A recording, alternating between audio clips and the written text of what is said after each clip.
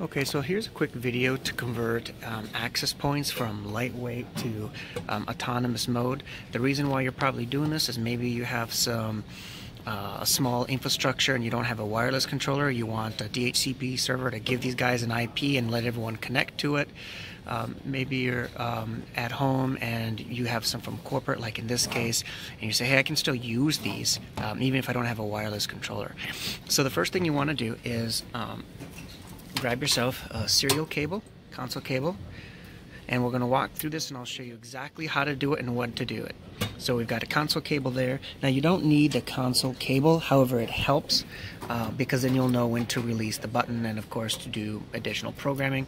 And then you have an Ethernet cable.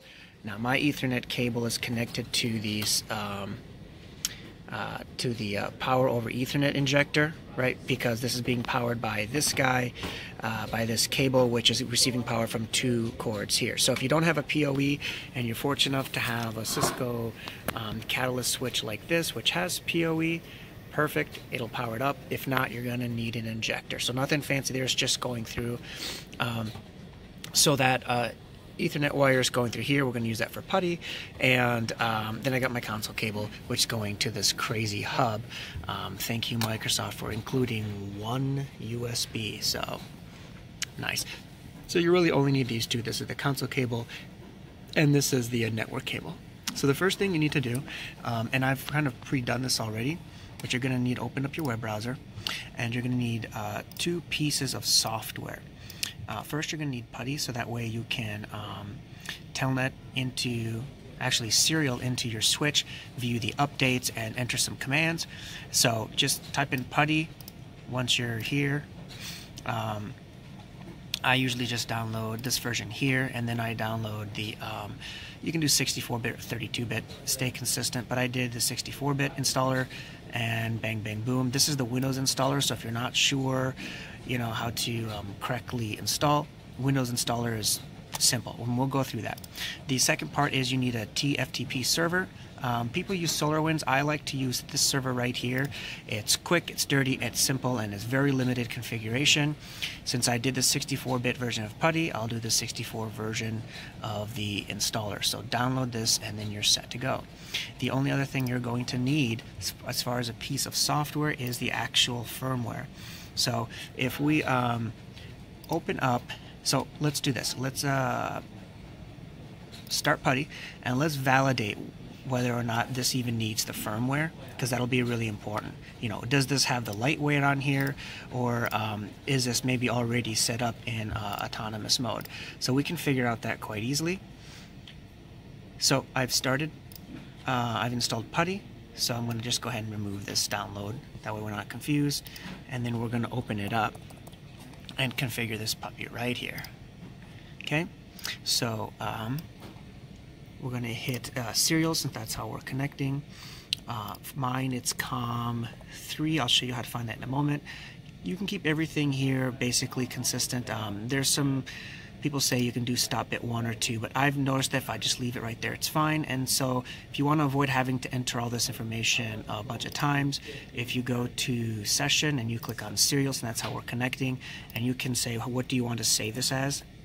Um, this is where you save the settings. So let's say I'm going to save that as Cisco settings, click save, and I'm done. Now if I open up this guy at this moment, you're going to see that window showing up nice and clear. Maybe. Okay, and uh, since we already have the, oh my lord, what's going on here? Since we already have the switch installed, um, if I just hit enter, you notice it says LWT AP06. So how do I know whether or not this has the lightweight on here? If I just type in show show version, I believe that's how, it'll tell you right here whether or not you have the lightweight or not. Now, see here, this is the flash version, C1240. See how this says K9W8? This W8 is the important part. The, w, the 8 here tells you that this is using the lightweight version of the software and not the um, autonomous. So this will need to be um, upload. We'll need to get a new firmware uploaded on that. So we're going to hit Control C to quit out of all that fun stuff, and we're going to just move that to the right so we have that available. Right. So now we can communicate and we can see the updates from this guy right here again through the serial port. So the next um, uh, part would be to um, let's get our firmware ready. So what I did was I just put a folder on the desktop called AP. You can be anything, I just did AP. Now this is the firmware right there. So I'm going to drag and drop that in the AP and I'll show you why we're doing that in a moment. now, what's important is once you download the firmware, it has to be in the correct name convention format. So we're to hit F2 here, or maybe we'll just do this way. And we're to remove all of this stuff, and it says .tar, and then we're to say .default, D-E-F-A-U-L-T. When we can, when this thing starts up, we're to hold a button, and it's to look for anything called the .default, and that's how it's to know what it's to look for. Now, clicking OK out of that, you'll notice a couple of things. You say, oh, okay, I named it as default, but take a look at that icon. Get all the, get this icon, it still thinks it's a tar. So if you see something like that, or let's say you're you're doing this a couple times and you're saying, gosh, it's not picking it up, make sure you've actually renamed the extension default and not just part of the name. Here's what I mean. If you go to View, Show the file name extension, you'll notice, oh, look at that. You actually named it dash tar dot default dot tar. So we don't want to do that. Um, we want to get rid of this guy right here. So it should just be named uh, k9w7 dash tar dot default. And you'll notice it's going to then give you a prompt hey sure you want to change the extension? Absolutely. And now it's kind of blank. It doesn't know what to open it up as. Perfect. So we're going to exit out of this guy right now. We're almost done here. Next thing is we need to install uh, our um, TFTP. So we're just going to go through this with grace and install this puppy. And then I'm just going to remove this installer pack. You can keep it, but it's not necessary at this point. So I'm going to go ahead and run this as administrator. And we need to do just a little bit of configuration. Now, in order for this guy to pick up that information from the TF TP software and grab that package, it's got to know where to go to. And by default, this is configured, if you look on Cisco's site, to like 10.2, sorry, 10.0.0.2 um, type of IP all the way to .30. So here's what we're going to do. Because as of right now, it knows it's saying 127. So we're going to exit out of this, and we're going to go to our LAN. So let's go to control panel and we're going to open up our network settings and then look at our network adapter. I'm doing this through my uh, perfect. So this is my Ethernet adapter. Let me disable my wireless. That would be a good thing. Okay, and then we're going to go to properties, and then we're going to look for IP4. And now we have to change this up a little bit. So it's going to be 10.0.0.1 I'm to just name it 2.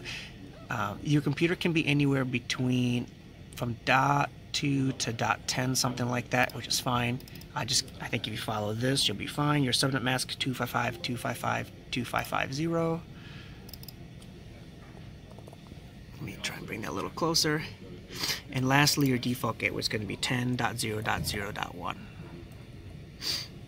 Alright, so pause the screen here, make sure you have this just like this leave the DNS uh, where it's at. It's not necessary. So you're going to click OK, you're going to click OK, and you're going to click Close. Now we really are almost done, I promise. All right, last thing is let's start this piece of software up.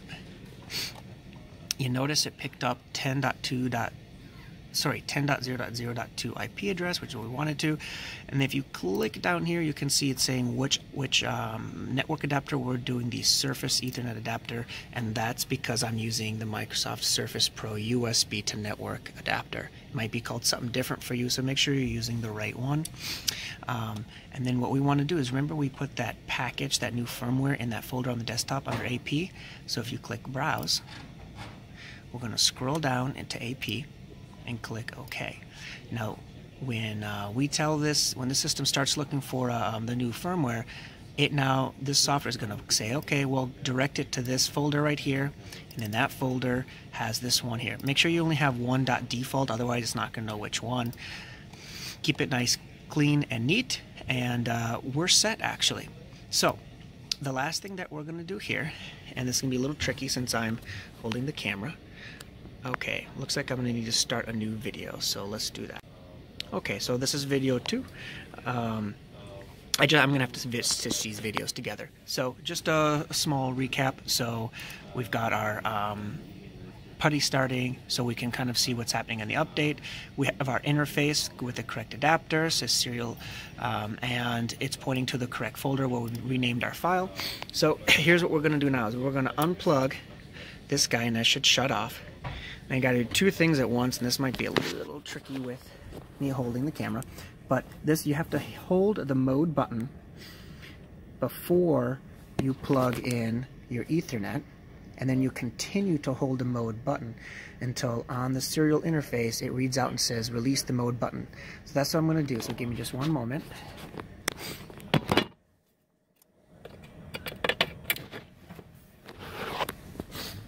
So as you see I'm holding the mode button um, and I plugged in the Ethernet and now what we're going to wait for on this dialog box is a status update. And what we'll do is as soon as it goes all the way through and it reboots, it's going to, there it is. So it says button is pressed, waiting for button to be released. That's the last bit down there. Okay, so I've released the button and a couple things are happening now. You can see that your default TFTP server has started showing that it's transferring files. So this tells you that you it's been successful and um, it's updating the file, it's bringing it, as you can see here, that's the file that we uploaded, right? K9W7-tar dot default, so it, it's found it. And it's probably going to take about 10 minutes to actually transfer the files. There's a couple of uh, software configuration settings, so it's going to run through all of this um, installation and packages. Once all of this is done, this guy is going to restart and then you can do another uh, show version and you will now see that it'll say K9W7 not the 8 but the 7 and you will have successfully converted this to an autonomous um, configuration. So you can I don't know hook this up to your like I said home DHCP server and, and use it as an extension Wi-Fi. It's a commercial grade so it should be very well. Um, as I mentioned this is going to take a little while but once it's complete it'll restart and then and then you're done. Um, thanks for watching. Um,